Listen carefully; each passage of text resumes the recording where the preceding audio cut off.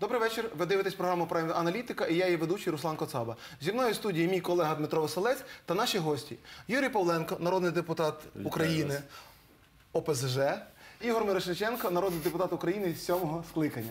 В цьому часі ми говоримо про свободу, а точніше, не свободу слова в Україні. Прошу.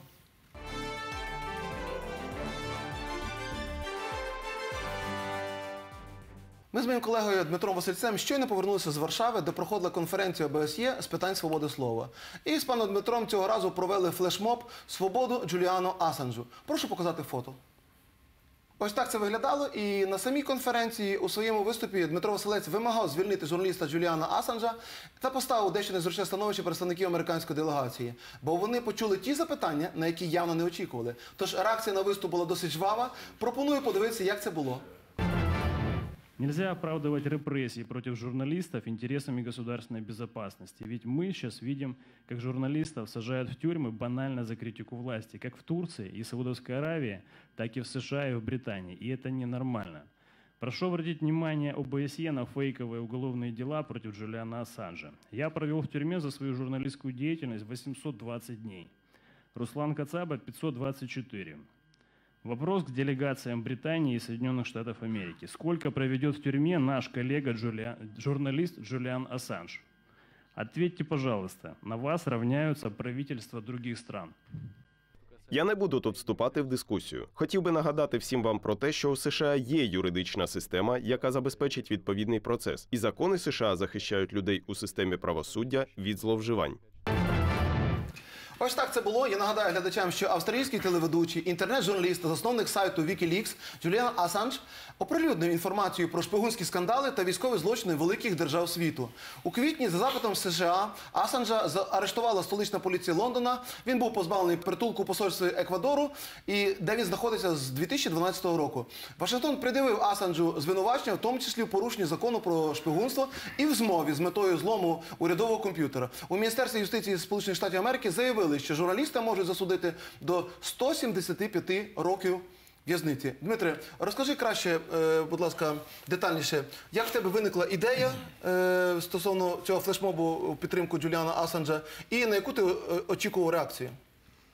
Ну, дело в том, сложно, дело в том, что сложно было прогнозировать реакцию, которая будет э, на конференции ОБСЕ, потому что это все-таки площадка для дискуссий, и, ну, по идее, должна была быть по поводу э, конкретно ареста Джулиана Ассанжа и содержания его в тюрьме конкретная дискуссия, точно такая же, которая происходила бы по твоему аресту и задержанию, когда ты был в тюрьме, точно так же, как и по мне, когда я находился в тюрьме, и поэтому я рассчитывал на то, что это будет достаточно интересная дискуссия, послушать, почему именно вот в странах, на которые обычно принято у нас равняться, происходит такая ситуация. Потому что если, например, эта ситуация происходит в США, условно, в Великобритании, то э, на эти страны смотрят такие страны, как Украина в том числе. И, конечно же, они проецируют э, таким образом на Украину способы э, решения вопросов с журналистами. И если мы видим, что так делают там, то что мы удивляемся, когда аресту, ну, по сути, кидают в тюрьму, фабрикуют фейковые уголовные дела и говорят о том, что если журналист критикует власть, если он где-то затронул неудобную власти тему, сепаратист, агент Кремля, э, Дякую, путинский почули. агент и так далее. То есть, поэтому надо почули вас е, запитання до наших гостей. Е, а як ви ставитеся до взагалі до чину Юліана Асанжа?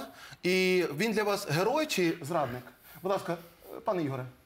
Я вважаю, що Америка це країна взірцевої демократії і е, країна, де працює взірцево система е, правоохоронна і відповідальності. Невідворотність покарання для кожного злочинця. Безперечно, Асанж, який був шпигуном, який оприлюднив державні таємниці, на мій погляд, має сидіти в тюрмі, так само, як мають сидіти в тюрмі ті, хто закликав саботувати призов, не воювати за свою країну. Так само мають сидіти в тюрмі ті псевдожурналісти. Там за вами я бачив ще один сидів, гужва його прізвище, який продавав е, місця у своїй газеті для того, щоб зливати компромат. Замечательные А, так от, слова. дивіться, так от моя да. позиція проста.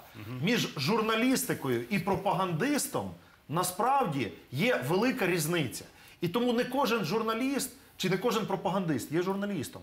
За пропаганду під час війни має бути кримінальна відповідальність і невідворотність покарання у вигляді тюремних термінів. Шкода, що у нас правова система працює погано, і ті люди, які працюють на Москву, які озвучують московські тези, сидять в прямих ефірах, а не сидять у тюрмах по 175 років, як це відбувається в Сполучених Штатах. Пане Юрію, е, герой чи зрадник Асанж? Е, От я, впевнений, що Сполучені Штати зможуть розібратися, провести необхідне розслідування. А Асанж має можливість е, в е, американській системі себе захищати і відстоювати От, свою от тут я позицію. Ем, Разом з тим, ну, прецедент, очевидно, є небезпечний. Я з чим погоджуюся з, з Дмитром. Те, що з Америки беруть приклад такі е, Так це демократії. добре. В Америці, ви ж самі сказали, Да. є можливість Демократія- захищатися. Правильно, Будь ну, ласка, якщо ти не порушив закону, да. там Демократії, слухають, які дають роз- змагальність Це системи, аргументи, Да, приймають да. до уваги. Якби, якби вони саме цей приклад брали, було би добре. Але на жаль, т- демократії, які розвиваються, беруть приклад, що можна нападати, можна обмежувати, можна закривати рота е, журналісту.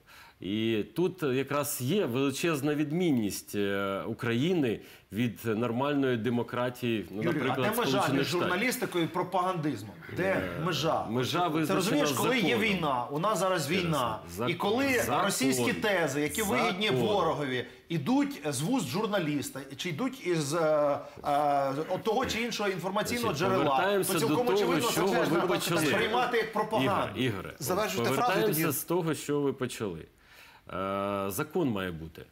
От ви зараз звинувачуєте всіх е, в тому, що вони зрадники і мають сидіти. Якщо я хтось, я якщо хтось е, порушує закон в ефірі, конкретний гість чи журналіст, і з цього приводу є реальні підстави порушувати справу і притягати до відповідальності через рішення суду, будь ласка, е, це має бути. А коли ми бачимо, що за останні 4 роки кількість нападів на журналістів, побиття, вбивства, побиття, е, погроз, е, інших способів закрити рота, які застосовувались, вони вже вимірюються не в одиницях. І навіть не в десятках випадках, а в сотнях випадків, е, і по відношенню до яких ну практично не розслідувана жодна справа, там одиниці е, справ доведені до суду, і мені здається, одиниці притягнені до відповідальності ті, хто нападав на журналіста. Е, Інше ми маємо ситуацію, от е, як е, Дмитро, наприклад, коли е, звинуватили, відсидів, я не пам'ятаю, скільки там 800 днів в СІЗО. Е, В результаті випустили і вже я не знаю, скільки ти на свободі. Почти два года. майже два роки, але ці два роки справа нікуди не рухається. Тобто використовують цю справу для того, щоб тримати на нього. Отже, дивіться, ми тут маємо Таким думку. чином, тобто таким в нас чином ми не говоримо, працює що правова система. у Юрій, нас правильно. правова система не правова працює. система має працювати. Невідворотність покарання для кожного злочинця, якщо він злочинець, має бути А обов'язковою цей і справи злочинець доведені є до кінця. влада, коли влада є злочинцем по відношенню до журналіста, приклад. до свободи слова, до Так у нас є, наприклад, факт, коли в прямому ефірі нападають охоронці Медведчука на журналіста Михайла Ткача, який розслідує у програмі схеми діяльність кума Путіна. І чи є відповідальність для Медведчука, який дає команди нападати на Давайте журналістів? таким чином. Ну, там Е, е, Тому Зубченко нема в студії. факти, дивіться, Да, да, тому є ви питання пе- прості. Ви маніпулюєте Я не і маніпулюю. пере- Є такий перевертаєте факт факти. нападів на журналістів. Я- Є А такий можна, факт. можна я трошечки втручуся? Кожну цю справу, кожна справа. е, У вас є на Шуфрич, журналіста, який вона зараз голова «Свободи проходила- слова», а, Вона комітету. От проходила я хочу, щоб через він на комітет комітеті свободи оце- слова інформаційної політики в свій час, в минулому скликанні. Кожну справу ми детально розбирали.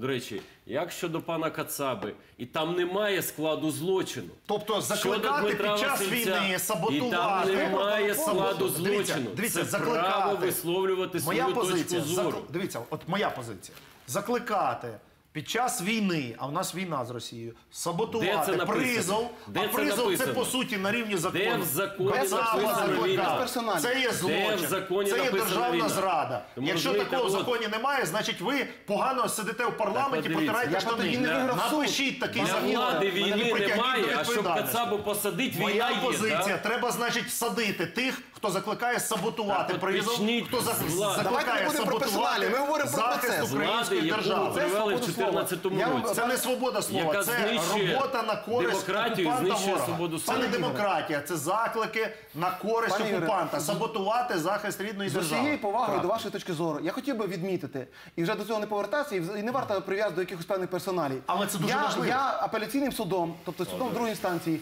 повністю виправданий по всіх статтях обвинувачення. У мене була державна зрада, тобто ніби що я ворог народу, і перешкоджання Збройним силам України. Я був виправданий, і е, повірте, зараз я абсолютно вільна людина. Так, е, потім е, генеральний прокурор е, е, горе. е, прокурор Луценко через рік через Верховний суд е, по- знов поновив мені статус підозрюваного в державній зраді, але справа не рухається від того часу. У мене запитання до вас. Будь ласка. Скажіть, будь ласка, у нас в Україні справедлива судова система? На ваш погляд? Я думаю, що вона занадто залежить від влади.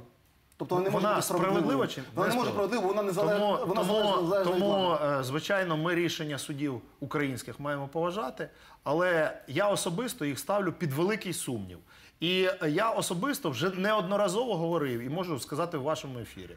Я довіряю, наприклад, американській судовій системі, я довіряю американським законам. І тому я вважаю, що побороти корупцію і забезпечити довіру до судової гілки влади в Україні можливо за одним сценарієм. Це сценарій, звичайно, надзвичайно контроверсійний і скандальний. Але, на мій погляд, це єдиний шлях надати можливість американцям віддати в руки правоохоронну і судову системи на 5 або на 10 років, оплачувати з державного, оплачувати з державного бюджету. І тільки тоді, і тільки тоді кожен в раби до них. і тільки то- розумію. ви в раби записалися до москалів, які знищують українську державу. Так от дайте мені до кінця договорити. Вам це не А ви якраз хочете. А вам це не А ви перетворюєте Україну в рабську країну. Ось таку політику ви ведете з 14 Яку року. політику? Я- це моя особиста- державності української. На по кого ви шановні, по черзі.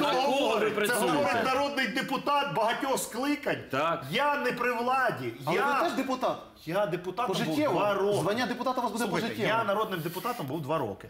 Коли я був народним прямо депутатом у складі е, фракції націоналістів Свободи, влада була повною мірою них разом з комуністами. Тому що Янукович був президентом, Азаров прем'єром. Комуністи підсилювали ту більшість у Ви Верховній в Раді. 14-му році зайшли у владу, в уряд у вас був прокурор. Тому не брешіть. Юрій, ну, я ви ж- зайшли, і Давайте- ця давайте, влада, щоб яку було ви привели, конструктивно, а не говорили вона існує, існує Я до розумію, що сьогоднішнього Юрій дня. На навчився жаль, говорити на жаль, гаслами. поки що. А я говорю вам. Знищуючи основи державності як такі. Основи державності знищують ті, хто продається Росії. Так ви тільки що е, сказали, що ви його готові продатися американцям повністю. Країну моя продати, позиція, віддати. Моя позиція. Яка різниця, Америка чи Росія? От ми за українську А ви позицію. за українську ми Ми знаємо. всі українці зібралися. Ви ж, ви, ви, ви боїтеся послухати альтернативну точку зору. Всі ми Ви ж боїтеся альтернативну точку зору. Всі ми українці, Я просто вас зупиняю в тому, що ви зараз в ефірі Юрій, не скоїте злочин. Що? А, Перший ви злочин ви злочин. скоїли, Так, та коли що? не всупереч що? рішення суду назвали особу, Рішення суду людину нема, є засудження. злочинцем. Немає рішення суду. Є апеляційного сказав, суду, що який ти- його я виправдав. що Але моя немає рішення суду, яке Ні, ну говорить, так що це буде злочин. базар. А Давайте по друге, черзі. друге, Давайте ви по зараз черзі. скоїте Я можу- злочин. Юрій, я можу безупинно Знищуючи, говорити, не довіряючи я судовій переговорю тебе. Слухай, Чуємо Але якщо ми кожного. хочемо один Юрій, одного я вас почути, то ми якраз робимо має бути. Це ваш мудріший в стиль суперечці. перебивати. Мудріший в суперечці має бути хтось зупиниться. Будь ласка, пане Ігоре, Тому закінчую. конкретне питання. Чи є в нас свобода слова? В нас свобода слова є. І вона є надзвичайно великою, на мій погляд, аж занадто. Бо під час війни моя позиція свобода слова має бути обмежена здоровим глуздом і певними законами. Якщо ми говоримо про свободу слова у мирний період часу, я приймаю можливість е, різних думок, і в тому числі тих, які можливо, можливо, певним чином ставлять під сумнів якісь державні устрої. Але коли є війна, на мій погляд, держава має жорстко контролювати інформаційні потоки в ефірах, телеканалів, в засобах масової інформації. Має працювати пропаганда на користь національної ідеї. І найважливіше, держава має унеможливити через будь-які канали е, інформацію, що може сприяти російській пропаганді та ворожій інтервенції. Ми ведемо війну не лише на Донбасі Пане зі зброєю. ос- Закінчую. Ну. У нас війна не лише зі зброєю в руках на Донбасі за українською Донбас і за український Крим. У нас в інформаційному просторі триває війна не з 2014 року, а від початку незалежності, де російські засоби інформації, де російські політики, політологи і інші агенти, які під виглядом співаків, культурних діячів, там політекспертів, вони зомбують українців, вони ведуть інформаційну війну і вбивають українців не менше ніж зброя на Донбасі. Почули і вас. це держава має контролювати на рівні СБУ, на рівні Національної ради з питань телебачення і радіомовлення і на рівні українського законодавства. Почули, але як на мене, як на журналіста, телеведучого, це є певна шизофренія, коли в одному тому самому випуску новин іде сюжет про те, що Росія агресор, російські окупаційні війська захопили, і потім іде сюжет про те, що Росія найбільший торговий партнер за останні п'ять років. Пане Юрію Так, Кульку, ні, так це пане Юрію, я вам слово. згоден. Свобода слова є в Україні, і взагалі чи повинна обмежуватись свобода слова, так як сказав пан Юрій, в час неоголошеної? Ігор, бачите, ви не можете сприйняти, що Мірошниченко може бути Ігорем і націоналістом, а не регіоналом і кандидатом у члени е, Ну, Центральної виборчої комісії. Ви ж ви ж друзі. Це можна говорити? Будь ласка, пане? Юрію, вам слово. Е, от мені все одно. Агенти чиї працюють в Україні, знищуючи Україну, підриваючи її зсередини, чи Москви, чи Вашингтону. Е, важлива позиція українська і робота на Україну. І на жаль, на жаль, е, ми з залежності е, східної перетворилися на залежну державу ще більше ніж від Москви в свій час, сьогодні від Вашингтону. І це дуже небезпечно е, для е, країни і її майбутнього. Що стосується свободи слова, е, на жаль, Час неоголошеної війни. на жаль, сьогодні свобода слова є під серйозною загрозою. На жаль, влада використовує от подібну риторику про те, що війна, яка не оголошена, е, має е, обмежувати права людей. Е, Право людей на свободу е, вільно е, висловлюватись, право людини на е, свободу е, слова. Е, Будь ласка, мають бути закони. Їх достатньо сьогодні обмежувальних законів щодо свободи слова. Сьогодні достатньо контролюючих правоохоронних органів, які мають дуже багато повноважень з тим, аби е, обмежити роботу е, будь-якого засобу масової інформації чи журналіста. Є достатньо серйозна і журналістська, е, скажімо така, саморегуляція. Коли журналісти так само громадяни України, і вони розуміють, що від їхньої позиції, від їхньої роботи залежить власне майбутнє цієї Ну, е, країни. Або розпалювач, або примиря, примиряти можеш. Але на жаль, оцю риторику війни ми бачимо, що зараз використовують з метою.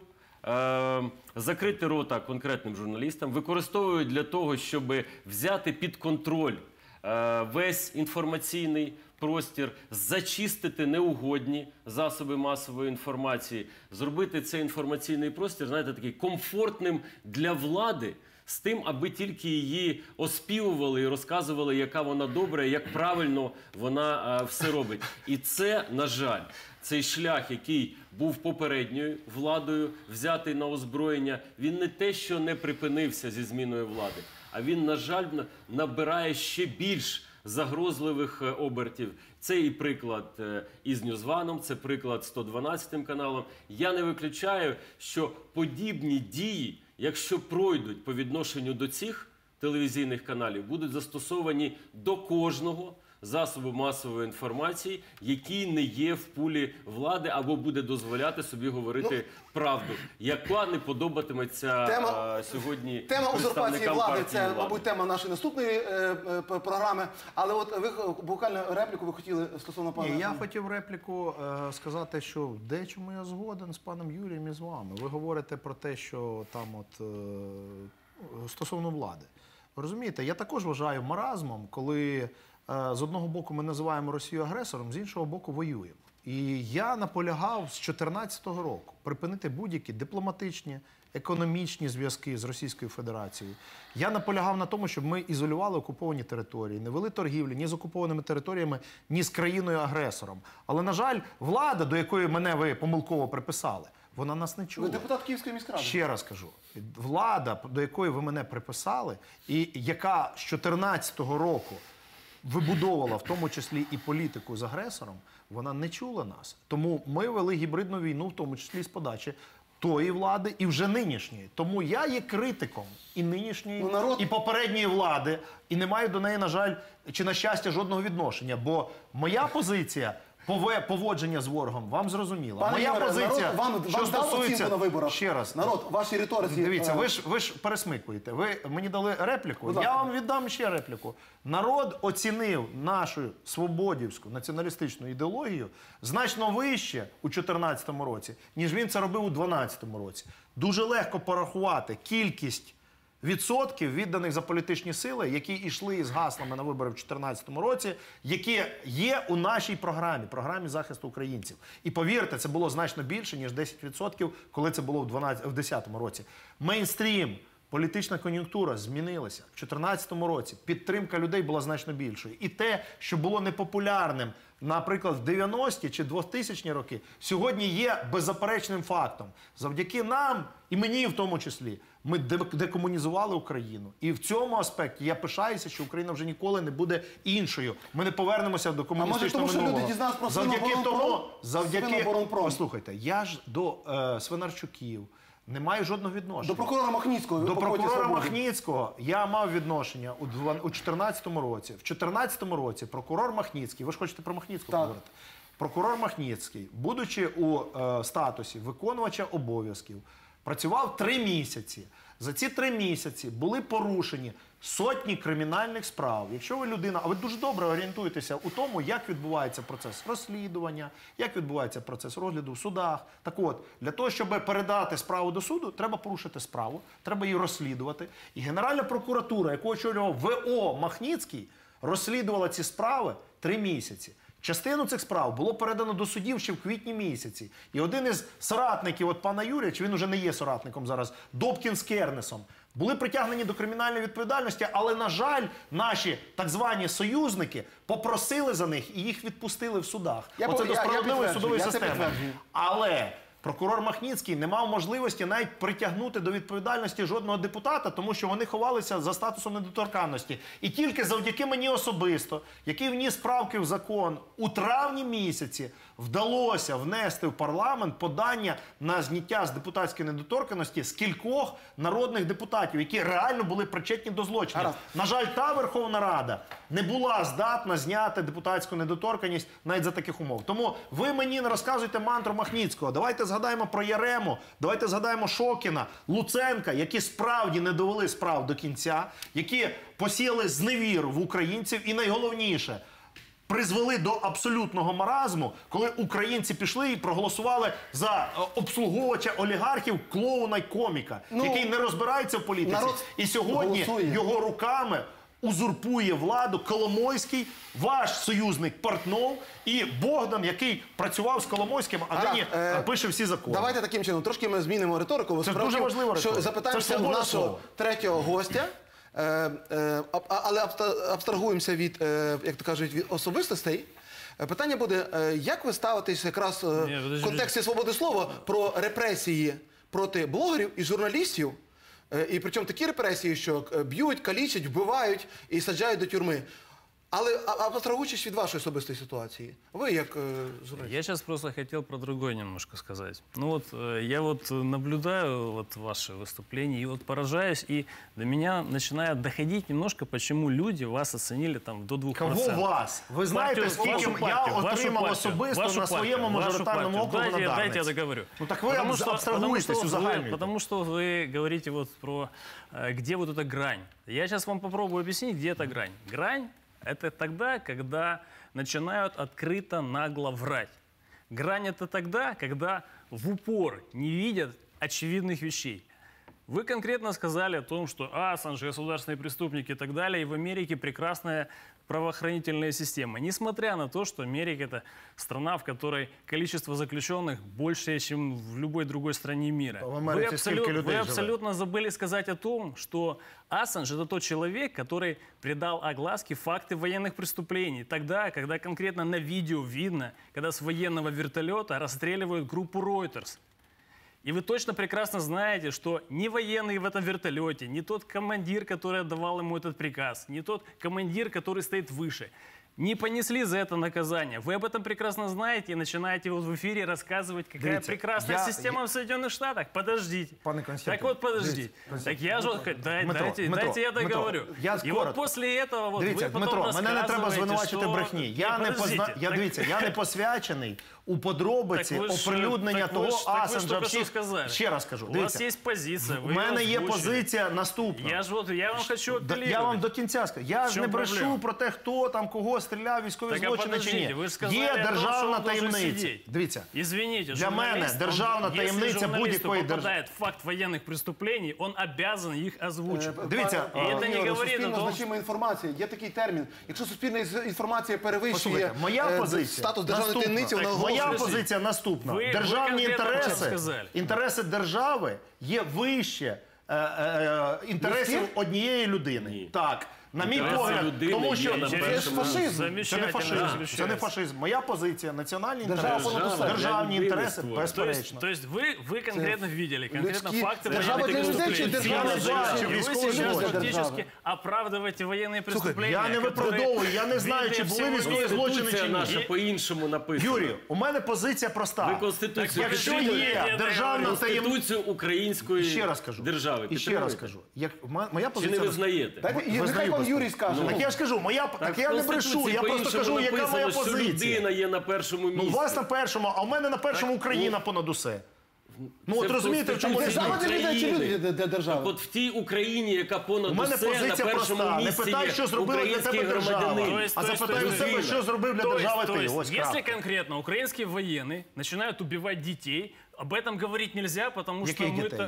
Я вам сейчас Українські говорю військові образно не привожу вбивають пример. дітей. Українські Я вам військові щас- захищають свою Я вам сейчас землю. образно привожу Так не пример. треба- не алея- треба пересмикувати. Небесна этого в военного Донецьку, нельзя, получается, Я не знаю, потому про что яку его алею нельзя ви привлечь говорите. к Я знаю те, ответственности що или как? а, Донецьк український бомбили російські війська. Оце точно У я вас сейчас знаю. конкретно есть А вот коли ви пример, заперечуєте почему очевидні вот вы сейчас факти не і можете лєте ответить воду на прямо? млини російської пропаганди, говорячи про те, що у нас виявляється Какие громадянська блины війна, российской даруйте, це пропаганды? брехня. Господи, мы сейчас говорим Гаразд, про пане конкретную Юрію, свободу е, слова. пане Дмитре, хвильку. Давайте таке. Пан Юрій менше Та я зараз просто не говорив. понімаю, Так ви ж почему. скажете свобода Будь ласка, слова, але не е, подобається вам па- моя Пане свобода. Юрій, ви гарно зачепили тему з Конституції. Ви, е, Конституція це ваша, як то кажуть, е, основна книга депутатська. Будь ласка, Це основна Для книга всіх. будь-якого громадянина. Це основна Погоджуюся. книга для всіх. Це основна книга, по якій має жити українська держава. Але, на жаль, влада, як нинішня, так і попередня, і перед нею е, нехтували Конституцію, бо не читали Конституцію, не поважають Конституцію. От і дозволяли собі не тільки вислови, подібні до Ігоря, да, Янукович зневаги до основного закону, але, на жаль, дозволяли служили, собі Юрій? рішення і дії. А чого ж ви не зупиняли Януковича, який порушував Конституцію, який Звичайно, порушував права зупиняли. людей? ви зупиняли. Та слухайте, ви до мене не апелюйте стосовно Порошенка. Я до нього так само можу разом з вами апелювати. Я говорю, коли людина каже про конституцію як найвищу цінність, Так. але перебувала у фракції Януковича. Я не який- перебував у фракції. Так люди ж голосували. він не були в депутат партії законний. регіонів? Ні. Ви не були в партії Жодного регіонів? дня. Ну, ну слухайте, Юрій, ну що ви розказуєте? Так. Як Це- це ви не були в партії? важливо. регіонів? Уявляєте? Як це ви не були в партії Я до регіонів? 2014 року був членом нашої України. З 2014 року я членом Ви опозиційного були в партії блоку. регіонів. Не був жодного дня. Все, Ні давайте таким чином. не Ви, ви це депутатом між був собою сьомого виясните після скликання. ефіру, але ми давайте з, з, з- От Ні, тому так я бачите, ще ви не говорите, не знаючи про що. От, то я завершуючи. Тому, коли ми говоримо і про свободу слова, то це є та цінність, яка захищена Конституцією. І вона може бути обмежена законами, да, коли військовий стан. Ну такого стану в Україні немає. Це ще одна претензія до влади, і ще раз, нинішньої, і сьогоднішньої. Але це можуть бути претензії до влади, а не претензії до журналістів, претензії до засобів масової інформації. А відбуваються подвійні стандарти, коли для влади існує один закон, а для людей придумують постійно все нові і нові норми поза законом і починають е, от, закривати в СІЗО, е, пред'являючи надумані звинувачення. Е, Починають там закривати, позбавляти ліцензій телеканали, придумуючи по надуманим е, причинам. Фактично, Нацрада. От хто сьогодні скоює злочин? Сьогодні скоює злочин Національна рада з питань телебачення і радіомовлення, яка, наприклад, рішення по Ньюзвану. Я ще не читав рішення по 112 каналу, але от рішення по Ньюзвану, коли телеканал звинувачується у висловлювання за висловлювання гостей, які були на а, програмах. А, і телеканал звинувачується в тому, що в нього там незбалансована політика. Так от, у Національної ради немає таких повноважень втручатися в редакційну політику або визначати, яка має бути збалансованість е, роботи телеканалу. А от така, така подібне втручання це і є згідно закону про е, інформацію. Цензура, от там написано: цензура це втручання влади в редакційну політику і так далі. І таким чином Нацрада з питань телебачення і е, радіомовлення е, робить, насаджує на- насаджуючи, е, приводить в Україну цензуру, а цензура у нас Конституцією прямо заборонена. Тому сьогодні органи влади фактично порушують Конституцію і встановлюють в Україні цензуру. Ось яка зараз І ситуація. пане, я доповню пана Юрія. слова. Справа тім, що троє з восьми е, е, членів Нацради втратили свої повноваження. Нацрада не чинна. Вона робить посадовий злочин, але теж за кримінальним кодексом. Вона узурпу, вона по суті перебирає на себе невластиві її функції. Це неправда. Тут якраз що є колізія. Тут є колізія, але, але, от я поясню, з однієї сторони, у нас є принцип, та, він Конституції безперервності, Безперервності влади, безперервності. Безперервності влади. Але якщо ми візьмемо, наприклад, е, по суддях, от у судді закінчився термін 15 вересня. Значить, він закінчився 15 вересня, навіть якщо Тому не що- призначений, не обраний суддя. А, і 16 вересня цей Немає суддя права не вже. має права вже здійснювати е, рішення, ухвалювати. На мій погляд, такий же принцип може бути застосований і до Національної ради з питань телебачення і радіомовлення, тому що вона теж є конституційним незалежним не органом, Юрій. яка ухвалює рішення Ну, Юрій, ну, іменем. України. Чому розумієте? тоді не застосовувався такий принцип до суддів Конституційного суду або до членів ЦВК, які пересиділи два терміни? А, От що- е, розумієте, тобто тут питання справді юридичної колізії, але Так. на мій погляд, безперервність влади має бути гарантована. І проблема у тому, що не замінили тих трьох членів. е, Нацради термін е, повноважень яких уже сплив. Я думаю, А що проблема проблема не в тих, этом. за Я думаю, що квотою проблема вони в мали бути перепризначені. Проблема в, От том, Верховная Рада. проблема в том, что есть Верховная люди. Рада. Ну, от і проблема все. Верховна Значить, Рада Верховна навіть Рада. не оголосила Главне- конкурс. Але я, я просто закінчу по цій дискусії.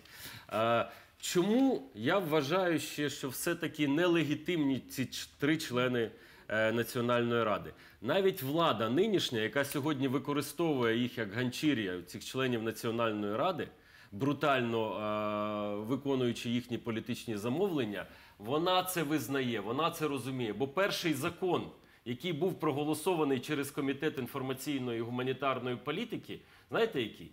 Зміни до закону про Національну раду з питань телебачення і радіомовлення, зміна умов конкурсу, але там вводиться окремий пункт, який визначає, що члени Нацради після завершення повноважень до набуття повноваження нового члена обраного його повноваження зберігаються. Тобто вони тим цим самим законом визнали, що на момент ухвалення і рішення по Ньюзвану, і рішення по 112-му Юрій, я- ці члени Нацради були нелегітимними для Дивися, не ухвалення таких сваримося, рішень. але можемо подискутувати. Е, Мені здається, що цю норму свідомо е, включили для того, щоб у судах не можна було оскаржити е, за тією причиною, про яку ви говорите. Закон зворотної я сили немає. Ні, ні, але на той момент. на майбутнє. Але, але в принципі ніде не написано, як по суддях я згоден, що член Нацради закінчує свої повноваження і не може продовжувати а, з моменту, коли ну термін його не може. повноважень спливає. Немає цього ніде. А тепер так само ви ж розумієте, право. і по членах ЦВК, і по членах Конституційного суду цього не написано. Ось. Написано тільки безперервність влади. Саме тому. От стаття 4 і стаття 5 закону про Національну раду з питань телебачення і радіомовлення чітко визначає п'ятилітній термін повноважень. Чітко. І якраз закон не дає, от поки діючий ще закон, не а- дає а право нацра... члену. Нацради після завершення цього терміну продовжувати свої повноваження. Більше того, е, стаття 5, це четверта визначає терміни, а стаття 5 чітко говорить, що е, Верховна Рада має. Після завершення повноважень оголосити конкурс і там в певний термін, здається, Якщо трьохмісячний термін, обрати нових членів Національної ради. То Верховна Рада цього не зробила. Таким чином, сьогодні посадовий злочин щодо діяльності Нацради здійснюється і керівництвом Верховної Ради України, і керівництвом Це юридична комітету казуїстика. Люди, я гуманітарної пропоную, я пропоную, політики. я пропоную поки що на цю тему. Але ця казуїстика вона сьогодні призводить до того, що знищується свобода слова, закриваються телеканали, що Е. дуже боляче вдарить по Україні з точки зору е, міжнародного її е, визнання. Пане і Юрій, я вам щиро вдячний, але дивіться, е, оце тема більш така юриспруденція. Нам треба для широкого загалу більш і простішими словами казати. Е, Пане Ігоре, будь ласка, в мене до вас от питання трошки іншого ракурсу, бо тому що е, в мене таке відчуття, що ви, я приблизно здогадуюся, як ви відповісте. А скажіть, чи мають право е, різні там е, неонацистські чи ультрарадикальні на- націоналістичні угруповання е, бити журналістів в прямому ефірі, коли вони виконують свої обов'язки під час висвітлення якихось акцій, подій у урядовому кварталі? От мені просто цікаво, я так здогадуюся, але от ваша думка, має право чи не має права? Ну, по-перше, ви знову пересмикуєте, коли кажете неонацистські і націоналістичні. Це різні речі. По-перше, не треба об'єднувати всіх докупи. По-друге, можна я, можна, давайте, до- любов, а ненависть це... Я вам ще раз кажу, Ну. неонацизм не має жодного відношення до націоналізму, тому не треба об'єднувати все докупи. Почули? Друге питання. Я хочу жити в правовій державі. І тут я з Юрієм абсолютно згоден. Я хочу, щоб було забезпечено верховенство права і була справедлива судова система. Так, наше законодавство недосконале. Так, є дуже багато шпарин. Ближче до нападів А я вам зараз скажу. Але чи довіряємо ми судовій системі те, про що я вам запитав? Ні. І саме тому, коли ви розказуєте це здача національних інтересів, я впевнений, що незалежно від того, яка політична сила буде при владі, вона завжди буде мати спокусу, як нині має партія Слуга народу, підпорядкувати собі судову систему, правоохоронну систему і вершити долю не в дусі закону і не відповідно до конституції, а відповідно до політичної доцільності. Я не хочу жити в такій країні. Тому ви я хочу. Ви, ви допускаєте, що можна побити беззаконну Пане, людину? пане Руслане, я не законодавець з 2014 року. І був законодавцем умовно лише два роки. Давайте не плутати. Можливо, моє обличчя достатньо пізнаване ще в журналістиці. Ви допускаєте, але що людей я не на законодавець. Бити нікого на вулиці не можна. Якщо хтось на когось нападає, незалежно від ідеологічних поглядів, партійної належності, моя позиція проста. Має бути правоохоронна система справедлива, і має бути миттєва реакція правоохоронців, а потім суду. На жаль, в Україні цього немає. Тому ми говоримо, ми не маємо справедливої правоохоронної і судової системи. Ідемо далі. Чи можна, тепер ми ж говоримо про свободу слова. Ні, Я говорю, що ще детальніше. Тобто ви допускаєте, що всім цим праворадикалам, які і ще е, раз кажу, хто з- на вашу думку праворадикал? Наприклад, С-14, братство Корчинського, які блокували телеканали, Я які нападали на вважаю, журналістів. я вважаю, що в країні, де правоохоронна система бездіє, країні, де судова система не є досконалою і до неї немає жодної довіри, в країні, де влада діє згідно з політичною доцільністю, а не згідно з інтересами е, держави, Це в тому числі про себе говорите. Українці, я не про себе говорю. Ну, Чому ви роки, коли коли ви були. Українці мають право захищати державний і національний інтерес самі.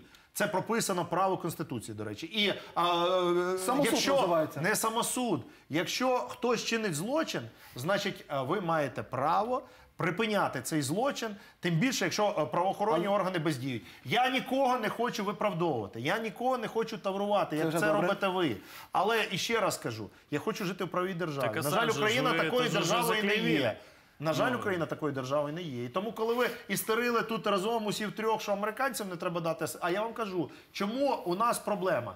Кожна влада, яка приходить, намагається впливати на правоохоронну систему і судову систему. І доти, доки вона не буде незалежною, я не вірю в незалежність чесно понімаю, за будь-якої влади. Так у нас були іноземці, І, очолювали ні, ті іноземці в нас були, ми знаємо. Зараз вони сидять, зараз вони сидять і в інтересах ті- банку і очолюють Укроборонпром, який насправді мали ліквідувати. За часів Порошенка ми так само вимагали, щоб Укроборонпром, який був створений Януковичем, як корупційна надструктура над військово-промисловим комплексом мала бути ліквідована, тому що це посередник, який нічого не виробляє, але який збирає гроші. На жаль, Зеленський пішов шляхом Порошенка. Не ліквідував, а призначив свого іноземного фахівця Абрамавічуса. Тому це не ті, а це не ті, це не ті фахівці, Це які нам потрібні. Про ви яких щойно ви сказали в ефірі, ви ж це ж записано все. Ви щойно сказали в ефірі, що ви за те, щоб Америка взяла в собі Я за те, контроль, щоб віддати е, під та, контроль країні, якій я систему. довіряю, яка є взірцем. Коли ми А знаєте, це може бути як державна зрада трактуватися? Слухайте, я ж не є е, держслужбовцем, тому державна зрада може Ну, Якийсь трактуватися... СБУшний слідчий придумає, Ну, хай а як це він переступає право. Він, теж не був Послухайте, держслужбовцем. Він публічно закликав саботувати призов і захищати українську державу. Ні, Я так а ви що робите? Я ви, ви висловлюю свою закликаєте, щоб позицію. американцям віддати декілька гілок влади. людина голосує за те, що е, Москва пише йому на папері. Так що це означає? Ні, він сказав, що він, і проти Москви, і проти? Америки. Звичайно, за на, на папері він проти, а по факту він у фракції сказали. Ні, я кума Путіна. за Москву, і за. Він у Сполучені фракції Штати, кума але я Путіна. проти, щоб ми під, За Москву, їхню Москва агресор, вона окупувала Крим. Докази, докази. Які? Москва їх наш диктовку стратегічний жили. партнер, Москва не що наш стратегічний партнер. Москва- Найбільш економічний е, ну, ми, Так я ж вам баланс. сказав, що ми маємо розірвати ці стосунки. Я був проти А того, потім що не зірвали, що робити? Ну так п- розривати ці стосунки, нарешті припиняти дипломатичні зв'язки, нарешті е, відмовлятися від ядерної спів, е, співпраці в ядерній енергетиці. Ми говоримо про це шостий рік, а твели як купували, так і досі купуємо, і так далі, і тому подібне. Тому і ще раз кажу, і ще раз, великий договір про дружбу і співробітництво, який нарешті сподобалося не розірвати, а не продовжувати е, цієї весни. На жаль, Зеленський за деякою інформацією призупинив розірвання тих договорів маленьких, які були в рамках цього великого договору. Тому Зеленський продовжує політику Порошенка, імітуючи війну з Росією, продовжує з нею торгувати. Це є труба? неприйнятно. Географічне мене якраз є абсолютно зрозуміла позиція. Є чорне біле. Росія окупант, бо вона окупувала український Крим і частину Донбасу. Тобто ви за те, щоб агресор, транзит бо вона- газу зупинити, так? Ні. Транзит а газу. транзит газу це інша історія. Тому що Тут газ... воюємо, тут торгуємо. Так Росія... виходить? Це не ми торгуємо. Це не ми торгуємо. Влада. Європа торгує. Транзит російського газу в Україна Європу... грошей не отримує від Росії. Так, давайте таким чином. Ми зараз плавно Ми перейдемо на тему війни і миру. Це теж болюча тема, але все ж таки ближче до теми свободи слова. Ми вияснили з вами, що в нас є тут студії, хоч ми всі українці, всі патріоти України, але при тому всьому ми маємо різний дещо погляд на, це прекрасно. е, На патріотизм. на Я свободу бачу слова. Кожного, Ні, а кожного патріотизм це, це любов. Патріотизм це любов. А ненависть до, до другого зараз робили з України проект антиросія, то це ненависть і називається неонацизм. Ви історію вчили? Але е, власне у нас ні, були ну, хоч, є- хоч один рік успішного прикладу співпраці з Російською Федерацією. Я яка просто вчив в школі постійно географії, знаю, намагалася- що Росія А нас ви в найбільший і школі наймогутніший сусід. Не треба нам А таких сусідами сусідів. сваряться тільки ідіоти. Не треба Я таких знаю. сусідів. А, а, будь ласка, давайте таким чином. Е, буквально на, на, на завершення по кілька реплік е, коротенько про яким чином можна виправити ситуацію зі свободою слова. Нехай навіть, як каже пан е, Ігор, е, в час гібридної війни. На мій погляд, в Україні свобода слова надмірна, особливо під час війни. І жодного ресурсу, який належить прямо чи опосередковано людям, які мають відношення до президента Російської Федерації, бути не може. Ці інформаційні ресурси мають бути або закриті, або націоналізовані. На жаль, ми не можемо боротися з усіма ЗМІ, е, бо вони належать олігархам, але при цьому ці олігархи принаймні мають якесь відношення до України і не озвучують відверто проросійські тези. Але ті е, засоби масової інформації, які належать, наприклад, куму Путіна, які озвучують е, тези Кремля, вони не можуть працювати в Україні, бо вони не мають жодного відношення до свободи слова. Це є пропагандистські ресурси. Під час війни, давайте візьмемо приклад Другої світової війни, будь-які пропагандистські ресурси закривалися і не допускалися на території, де проходить війна. Ну, безглуздо уявити, щоб Совєтський Союз дав можливість, е, наприклад, працювати радіоточці. Е, Яка би належала опосередковано Гітлеру, ну правда ж? Навіть якби вона туди запрошувала в тому числі і совєтських політиків, і в тому числі якусь там альтернативну точку зору давала, але при цьому тези, які виголошував Гітлер у своїй Майнкамф, також лунали. Цього уявити неможливо. Чому ми в Україні дозволяємо політикам і засобам масової інформації озвучувати ті тези, які вигідні Кремлю і які суперечать національним інтересам? Цього бути не може. Почули, е, пане Дмитре. Ваш прогноз стосовно розвитку свободи слова, чи ми тут називали не свободи слова? Ну, у нас в студии, на самом деле, вот уникальная ситуация сложилась, когда вот э, украинский политик э, открыто, получается, покрывает военные преступления Соединенных Штатов. При этом всем э, журналиста, который это все публиковал, называет предателем. А, Вот. Э, Это вообще вот уникальный, по-моему, случай, когда вот, вот в упор человек абсолютно не видит фактов, ни логики, ни здравого смысла. Э, Этот человек защищает э, страну, которая находится за океаном, и э, это вот не мешает этому человеку говорить о том, что вот э, Соединенные Штаты не Відштовхуючись делали від военных персоналів, преступлений. ближче до свободи слова. Я просто представляю, как этот человек будет защищать всех тех, кто совершил военные преступления, например, со стороны Украины.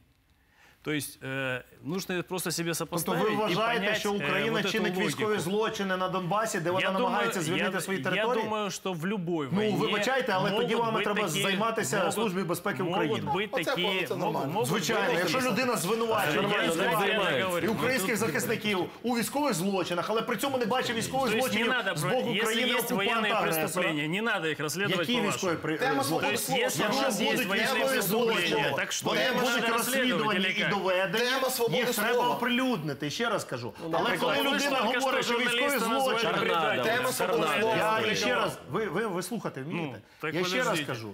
Я Журналісти, довіряю які то тому, ви що називаєте сьогодні предателями. Я говорить не американська понять. держава. А в її очах Асанж є зрадником. Я не вивчав матеріалів, які він подавав, але я вважаю, що державна таємниця не може бути оприлюднена такими правдорубами, як Асанж. Ось і все, Асанж. Все, пане Юрію, будь ласка, на завершення. Теж вам те саме запитання. В- Які ваші прогнози і чи вважаєте ми перспективною свободу слова в Україні? Свобода слова це є цінність, яку необхідно захищати, відстоювати і не дозволяти нікому її обмежувати. Бо після знищення свободи слова ми, на жаль, цю трагічну вже історію маємо. Приходять трійки, які садять, розстрілюють без особливого вивчення всіх обставин е, справи. Тому свобода слова, е, її наявність в Україні це захист України від будь-якого свавілля влади. А на жаль, влада в Україні така її природа. Вона е, приходить на, гасли, на прекрасних гаслах, але е, з перших днів починає під себе формувати диктатуру і узурповувати е, владу. Тому сьогодні свобода слова в Україні є в небезпеці. Сьогодні ми бачимо наступ і на конкретних журналістів, маємо наступ на конкретні вже телеканали. Є спроба влади е, з однієї сторони збільшити неприйнятні для себе владні повноваження, фактично перетворивши пар- парламентсько-президентську республіку в президентську, і при цьому підігнати весь інформаційний простір під себе, щоб він був комфортний, щоб журналісти е, мовчали, а засоби масової інформації тільки показували, як все добре в Україні. На жаль, все не дуже е, добре в Україні, і е, саме для цього. Нам потрібно, щоб засоби масової інформації працювали в рамках закону, але мали можливість повного доступу оприлюднення е, всієї необхідної соціально значимої е, інформації. Мені я журналісти- сподіваюся, я сподіваюся, от що нам вдалося вже добитися. Це не вдалося в Верховній Раді восьмого скликання, бо комітет свободи слова очолювали представники тоді владної коаліції. От те, що е, комітет свободи слова, хоча й в обрізаних достатньо повноваженнях, очолив представник опозиції, вдалося першим рішенням. Це, до речі, є великою помилкою Першим рішенням влади. комітету внести на розгляд Не Верховної Ради Шуфричу, е, постанову про проведення про цього прове- комітету. Блядь, ну, не Ну, ви ж кажете, ви ж кажете, що я це говорю свобода. про представника опозиції. Я Так, навіть прізвище, що вони опозиція? я навіть прізвище не називаю. Вони п'ята колона. Яка От, опозиція? Про що ви е, говорите? Ну, Опозиція до України. ну, ну, це ж Я ж не обзиваюся. Опозиція Я так так само, от, дивіться, я так само вважаю, що свобода п'ята колона. Добре. Але свобода свою, П'ята е, колона до кого? свою позицію по знищенню України ховає під красивими патріотичними гаслами. І свобода в свій час була створена як проєкт на для знищення млини. патріотичних сил Ви в Україні лєте воду на для того, щоб млини. завести сюди окупанта. Але то таке, то історія Ну, ми ж колись українці, ми зараз посваримося, Я так само нормально можу, виходило. е, Можу Ні, ну, тому що всі знають, що опозиційний блок за життя це п'ята колона Кремля. А свобода не працювала на картинку Раша Today? Ні, не працювала. І, і працюють до сьогоднішнього дня. А ми маємо якраз чітку і чесну е, позицію. жили, ви Тому я пам'ятаєте, що що парламентські слухання, була. парламентські слухання, Верховна Рада вже проголосувала цю постанову, мають відбутися 6 листопада. І саме на цих парламентських слуханнях е, ми будемо викликати і правоохоронців, керівників правоохоронних органів. Я впевнений, що буде надано слово кожному журналісту, який постраждав від свавілля. двоє зареєстрували влади. сьогодні. Кожен запросіть російських пропагандистів і. Кирила Вишинського. Вони І- будуть вам аплодувати. І будуть е, Не забудьте запросити. Ухвалені Today, канал. Росія. От вони я вас навчають. сподіваюся, Свободі я слова. сподіваюся, що от через інструмент хоча б парламентських слухань нам вдасться от підняти цю тему на значно вищий рівень, ну і сказати про всі небезпеки, які є сьогодні для свободи слова. Хоча б такий маленький крок на захист, але маємо зробити. З іншої сторони, от я закликаю і громадян, і журналістів, і засоби масової інформації, і міжнародні моніторингові організації сьогодні серйозну увагу приділити всьому, що відбувається з свободою слова в Україні, стати на захист свободи слова е, в Україні. Це була програма Прайм Аналітика і її ведучий Руслан Коцаба. До наступної зустрічі.